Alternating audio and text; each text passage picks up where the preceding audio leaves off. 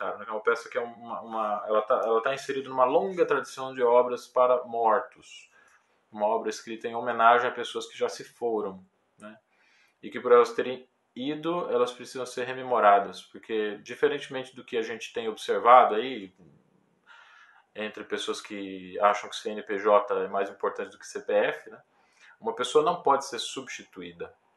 E a ocasião do falecimento de uma pessoa, como foi o caso de grandes artistas que nos deixaram recentemente, como Naomi Munakata, como Aldir Blanc, a ideia de que a gente até cobrar das autoridades que se manifestem a respeito do passamento dessas pessoas, é que a gente tenha a oportunidade de rememorar a obra delas, rememorar aquilo que elas deixaram conosco e aquilo que pode nos inspirar, nos amparar e nos reconstruir diante de tanta coisa que nos decompõe. Nós vivemos no, no, no na vida. Né?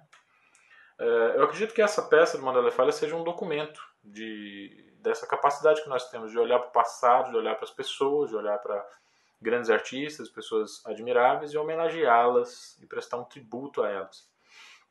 É, sempre que eu me aproximo dessa peça, eu tenho é, um, um, pouco de reservas, né? assim, porque nunca me sinto muito à altura de, de, de, oferecer uma interpretação justa, de uma interpretação digna dela. Tá?